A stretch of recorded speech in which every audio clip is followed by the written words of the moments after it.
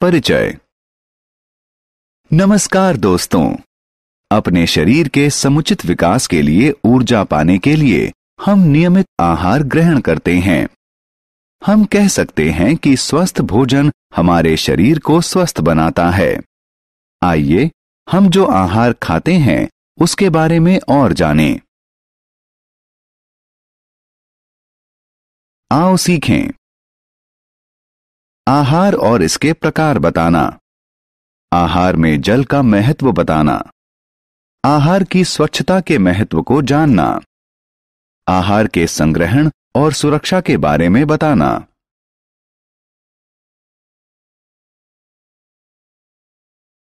आहार। स्वस्थ रहने के लिए हमें विभिन्न प्रकार के आहार की ज़रूरत होती है। क्या आप जानते हैं कि आहार में कई पोषक तत्व जैसे कार्बोहाइड्रेट्स वसा प्रोटीन खनिज और विटामिन होते हैं। हम आहार को तीन मुख्य भागों में बांट सकते हैं। ऊर्जा देने वाले आहार, शरीर निर्माण करने वाले आहार, सुरक्षा देने वाले आहार। ऊर्जा देने वाले आहार। दोस्तों, जैसा कि मैंने आपको पहले ही बताया था कि शरीर को विभिन्न कार्य करने के लिए ऊर्जा की ज़रूरत होती है। हम मुख्यतः ऊर्जा देने वाले आहार से ऊर्जा प्राप्त करते हैं। कार्बोहाइड्रेट्स और वसा जैसे आहार हमें तत्काल ऊर्जा प्रदान करते हैं और इसीलिए इन्हें ऊर्जा प्रदान करने वाले पोषक तत्व कहते हैं। शरीर निर्माण वाले आहार। आहार हमारे शरीर के समुचित विकास में भी योगदान देते हैं। अत्यधिक प्रोटीन वाले आहार को शरीर निर्माण वाले आहार कहते हैं। सुरक्षा देने वाले आहार।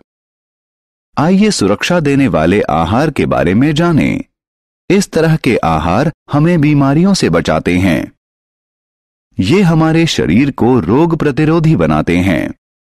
जो आहार हमारे शरीर को सुरक्षा प्रदान करें, उसे सुरक्षा प्रदान करने वाला आहार कहते हैं। सुरक्षा देने वाले आहार में विटामिन और खनिज प्रचुर मात्रा में होता है। जल। दोस्तों, क्या आप जानते हैं कि आहार के अतिरिक्त हमारे शरीर को प्रतिदिन पर्याप्त मात्रा में जल की भी ज़रूरत होती है?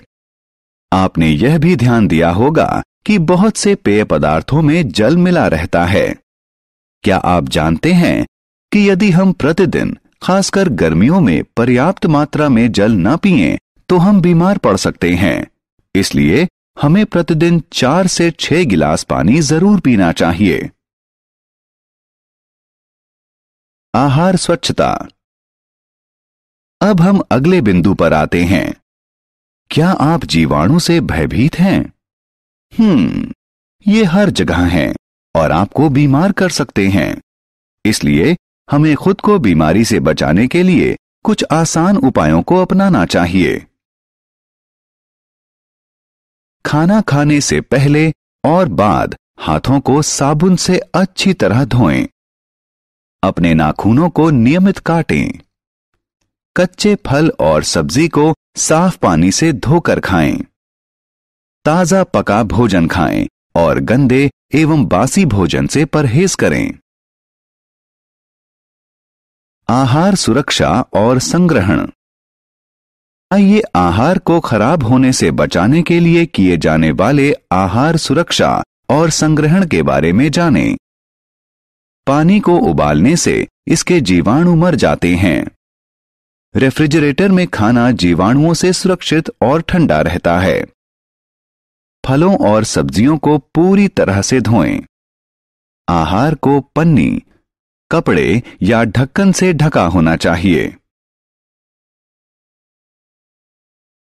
हमने क्या चर्चा की? आहार कई पोषक तत्वों, जैसे कार्बोहाइड्रेट्स, वसा, प्रोटीन, खनिज और विटामिन से बनता है। आहार को तीन मुख्य भागों में बांटा जा सकता है। ऊर्जा देने वाले आहार, शरीर निर्माण करने वाले आहार और सुरक्षा देने वाले आहार। हमें प्रतिदिन प्रचुर मात्रा में जल की भी आवश्यकता होती है। हमें आहार को जीवाणु मुक्त रखने के लिए उसे स्वच्छता पूर्वक रखना चाहिए।